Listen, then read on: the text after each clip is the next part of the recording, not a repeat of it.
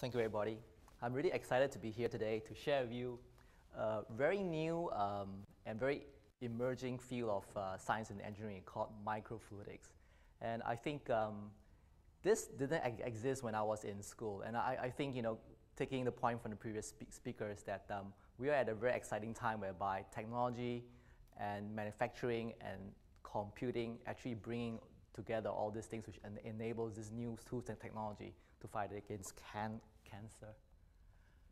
So ca cancer, as everybody knows, is a very big problem. Um, the American Cancer Society has predicted that by the year 2030, there'll be 22 million people um, suffering from cancer every year. So every year, the whole size of population of Australia will have contracted uh, can, uh, cancer. And I think, um, you know, we, borrowing from the previous uh, vi video, we're all very vulnerable to this. You know, the can cancer uh, affects a lot of our loved ones, and you know, we have to do some, something about this. And cancer really stems from the uncontrollable division of abnormal cells. So basically, cancer, um, there's something wrong with the genetic code, and the cells divide uncontrollably. And what we have found, and researchers have found, is that cancer is very complex. There's no one key reason why cancer starts. We, we just don't know it. And uh, it's het heterogeneous, meaning that um, uh, uh, the, the, the, way that the cancer is being diagnosed now is that um, we, we take a physical uh, tissue sample, either through a needle or through a, a, surgery, and we analyze this. And it's been found that cancer, because of the way the genetic code and the is dividing, is really, really com complicated, it's heterogeneous, and worst of all, it's actually dy dy dynamic. It changes over time. So the issue is that um, people always have uh, their cancer cured for a while, but it actually comes back because they actually build re resistance, and using a particular drugs may not kill the en entire uh, um, um, uh, cause of the can can cancer. So right now, clinicians and oncologists probably have concluded that it's going to be a likely multi-drug approach, a multi-disciplinary uh, approach using uh, surgery, radiotherapy to kind of go at the whole cancer problem um, from all uh, ends of it. But the real killer is actually metastasis because the real killer is that when the cancer spreads. So in, in fact, the real reason for then the cause of cancer death, more than 80% of cancer death is actually caused when the cancer starts to spread. If it doesn't spread, um, you can actually typically live for, for decades with, without this. And um, metastasis is really uh, caused by these cells called circulating tumor cells. And these are actually cancer cells that have uh, this, uh, uh shed from the primary tumor and they travel in your bloodstream. So if you think, think about it, if you have a lung cancer tumor, um, you know, it will actually shed these cells. And then these cells travel in your body, find another site, and then they grow this um, other uh, uh secondary site. And that's how the cancer spreads. And the trick about this is that these cancer cells are very, very rare. They're like one of the, there's only one of these cancer cells per, uh, uh, you know, one billion in blood. So it's like finding uh, a single person in the whole of uh, India or, or, China. So it's really a needle and hay, haystack pro problem. And until now, uh, there have been uh, very various efforts trying to look at this. And right now, because of the birth of microfluidics, we're actually applying this technology to be able to detect and retrieve these cells. And what it is is that microfluidics is really the study of uh, systems where extremely small volumes of uh, fluids are being hand handled. So typically these are mi micro channels smaller than the width of a human hair. And what we do is that we have precision uh, pumps to push these fluids. And by looking at the uh, fluids, uh, we can actually do a lot of amazing things uh, with it. And this only came really in the, in the past uh, 10, 10 years. You know, when, when I was in, in school, there was no such field as uh, this. And I think, uh, you know, it's a really nice time now that we're finally seeing the multidisciplinary, the intersection of all these technologies that en enable this to work. So it's really uh, intersection of engineering, uh, physics, chemistry, uh, biochemistry, nanotechnology, and biotechnology. And I think um, this is a really interesting field. And what it is is that um, if you think about it, in a very, very small and controlled environment in, you know, like a sub 100 mi micron scale, in interesting things start to ha happen. Um, the forces between the surfaces and the pa particles in a fluid becomes very big because of the small, small scale. And there are actually these uh, uh vortices and for forces within it um, that actually uh, allows us to actually uh, look into this and try to make use of these force, force, forces. And what we have come up with is this spiral microfluidic chip.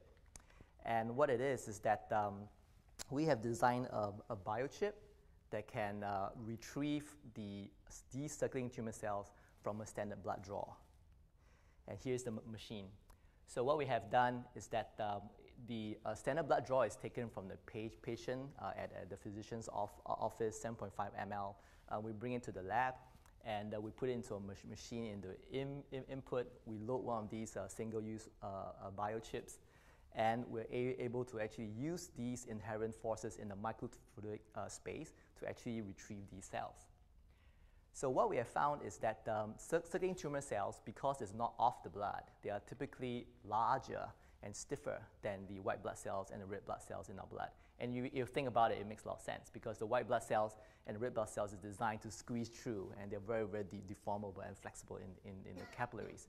So we make use of this and by designing a chip whereby we can actually arrange this in a very, uh, arrange these in, the, in, in cell stream based on size and shape, we're able to then uh, filter this in a way that we actually uh, arrange them in a particular order. So think, think, think of this like a free like a freeway. So we make the, uh, the big trucks uh, stay in the right lane and the cars and then the, the, the, the motorbikes on, on one side. So we can actually use the forces to control this in a precision way to actually do this. And you can see on the, um, um, on the top corner we have the la larger cell being funneled uh, through this uh, out, the output. And here's a picture of a circulating tumor cells. So these cells are very, very rare.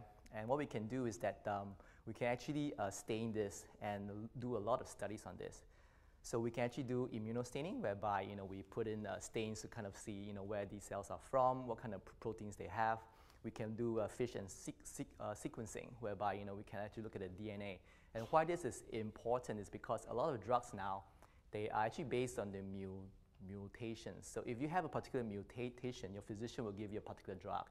And it's important to be able to match the right drug to your particular kind of can cancer at the right time. And of course, you can also do PCR, uh, which is another uh, um, um, genetic thing to look at pro proteins and, and other uh, um, um, um DNA and RNA strands, and uh, cell culturing. So one of the key things is that um, of our technology is that we do not use biomarkers. So these cells actually come out in the live and viable state. It's really, really exciting because we can actually grow these cells and we've actually seen and we can study these cells. And by the rate of aggressiveness of this growth, we can even tell how um, and potentially see how, uh, how, how to treat the uh, cancer or how aggressive the, the cancer is and change treatment accordingly. So why is this important? Well, we actually see this as being able to impact the entire uh, cancer management pro process. So the presence of circulating tumor cells, CTCs, um, in blood would imply that um, you actually have uh, uh, can, can, cancer because typically you, you, you don't, you're not supposed to have these uh, cancer cells traveling in, in your blood. And I think you'll be quite su surprised. The, the, the state now is that uh, it's actually quite hard to actually determine whether or not, or to confirm whether or not you have can cancer.